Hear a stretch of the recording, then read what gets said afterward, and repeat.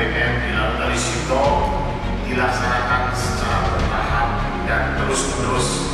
Lagi sejalan dengan kebijakan pimpinan TNI Angkatan dalam mewujudkan transparansi, akuntabilitas, dan bebas dari